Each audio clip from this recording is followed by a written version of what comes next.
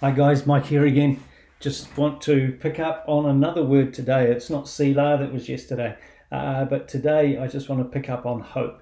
And I've been challenged throughout this whole lockdown and pandemic. A friend of mine, Paul Cole, said these words. He said, Hope is alive, hope has a name, hope's name is Jesus. In the Gospels, hope is conveyed with a sense of expectation.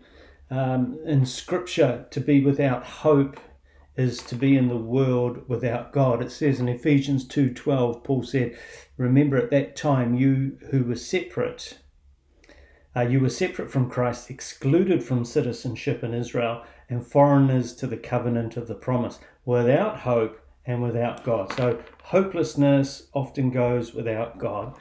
Um, in the modern world, hope is often a humanistic uh, type of thing, human in, in endeavor, human effort. Um, humankind is the problem, so humankind will be the solution. That's very humanistic. People are the problem, people will be the solution. The biblical model, of course, our primary model is a man called Abraham. He was the model of faith and he was the model of hope. Uh, Romans 4 20, 21. Um, you can read that for yourself. I'll put it up on the screen. But like Abraham, our hope is based on the faithfulness of God. Uh, hope is not irrational, uh, it's based on God and His faithfulness. Um, and the reason we can do that is because God has proven Himself faithful. So, just want to encourage you today as I look up that Romans scripture. What did I say?